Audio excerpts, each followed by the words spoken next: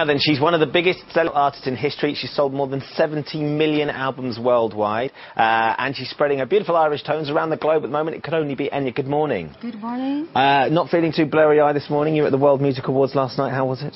It was very interesting. It was quite a night. Did you? Uh, you picked up an award for best-selling Irish artist, which is which is fantastic. How many of those have you got now? That was my sixth award. You see, you're monopolising the market, as it were, which isn't bad. It's it's so wonderful to get the the award because it's based on your sales. Mm. You know, it's based on the people who listen to the music. So it's it's a very special award to me. Did you see uh, Michael Jackson at all? Any? Did you get any of the sense that he was there and there was all this strange business going on? Uh, he was definitely there, um, and there was quite a frenzy backstage and at front as well of his presence being there. But uh, it was quite exciting, yeah. It's the first. I think it's the first time that they've done the awards in, in, in London, Mhm. and it was a very different feel. Usually, I think it's in Monte Carlo, and it's all a big black tie affair, isn't it?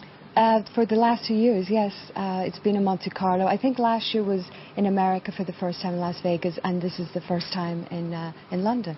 And, and could you sense that the crowd were disappointed that Michael didn't really sing his song, or, or, or were you sort of not really there? You couldn't really see that. I think there was so much confusion about if he was going to perform or not. So I think he wasn't expecting to do so much performance himself. I see. Yeah. You should have got up there and done a little song with him, Enya. That would have been a great number. Uh, you're going to be performing um, new single. You've got an album out coming out on Monday, aren't- Yes. haven't you? Excellent. do. and this is well, we're going to hear the new single, which is called It's in the rain. Lovely. Thank you very much, girls. Thank Love to see you as well. Thanks for coming in, Enya.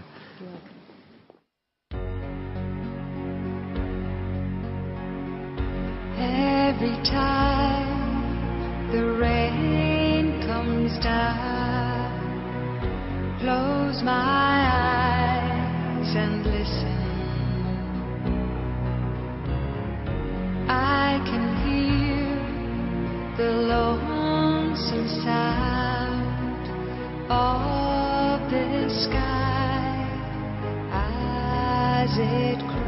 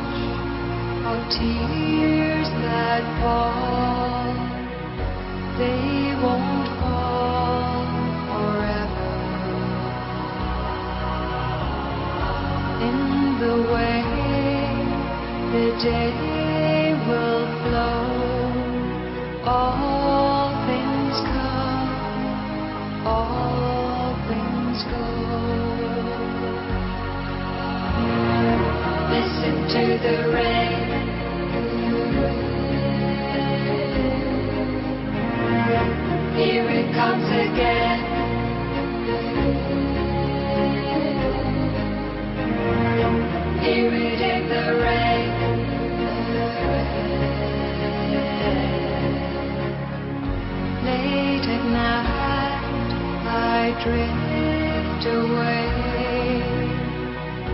I can hear you calling and my name is in